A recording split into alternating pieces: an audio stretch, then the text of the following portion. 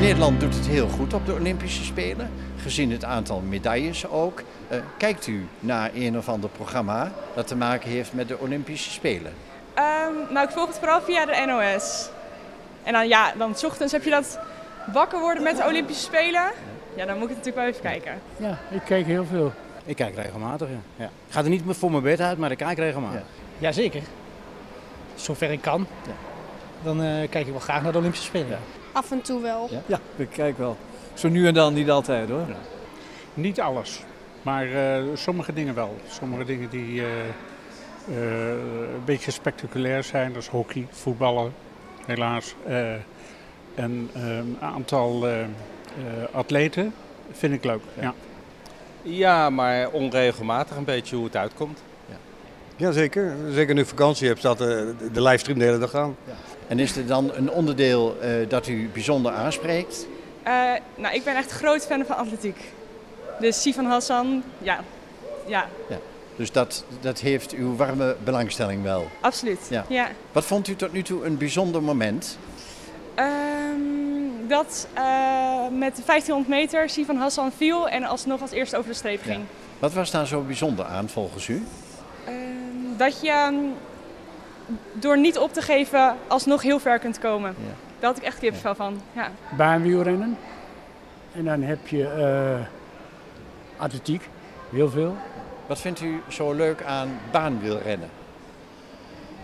Uh, ja, wat, ja, wat zou ik zeggen? Uh, ja, gespierd allemaal. Het ziet er allemaal perfect uit. En, en het gaat heel snel. Het gaat heel hard.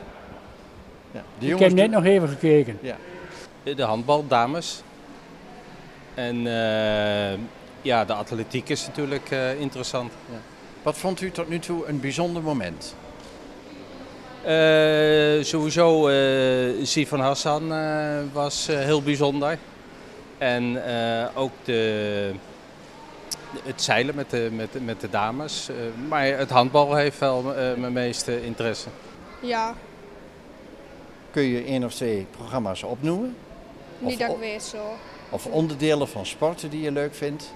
Ja, de, de uh, hardlopen. Het hardlopen vind ik wel leuk. Ja.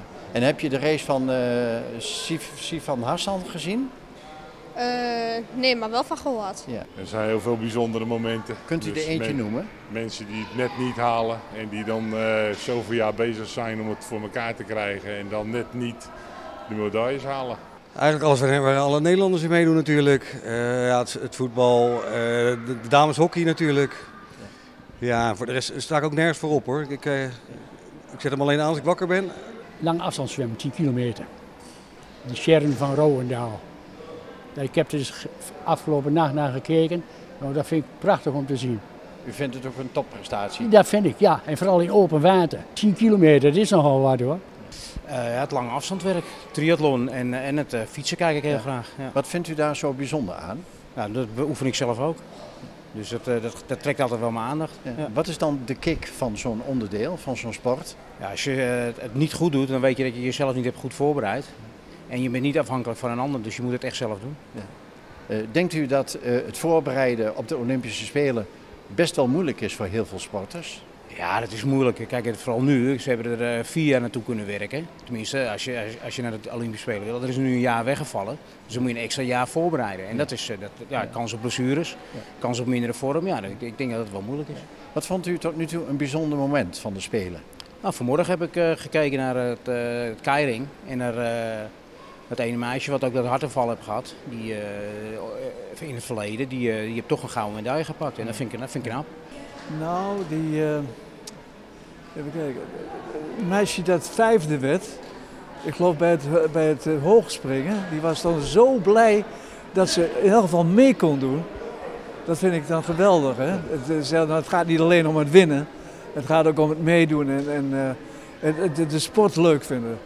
Dus dat, is, dat, is, dat vind ik dan geweldig dat de mannen hoogspringen samen de gouden medaille kregen. Ja. Althans, dat samen besloten ook dat ze niet de winst wilden, maar samen de winst wilden. Ja. Nou ja, zo'n zo, zo Femke Bol, eh, dat vind ik dan wel heel ontroerend, zo'n meisje. Dat, uh, en ja, goed, zo'n zo jongen op zo'n crossfiets die dan eerst uh, op zo'n official klapt en daarna nog gewoon een Olympische medaille haalt. Ja, dat vind ik wel prachtig. Een andere vraag gaat over de Almeloze taekwondoka, uh? Reshmi Ogink. Die is besmet geraakt door Oh, het ja. coronavirus en kon daardoor niet meedoen. Ja. Eh, wat vond u daarvan? Ik vind het sowieso een best ingewikkeld onderwerp. ehm, omdat het daardoor iemand niet mee kan doen door... Niet omdat hij niet fit is, maar door iets wat in de wereld iedereen aangaat. Eh, ik snap wel dat ze de Spelen hebben laten doorgaan. Maar of ik het ermee eens ben, ja, met dit soort momenten twijfel ik dan wel weer. Mm, eh, heel vervelend. Hè. Kijk, het, het punt is waar komt het nou in godsnaam vandaan? Hè? Want er waren er meer.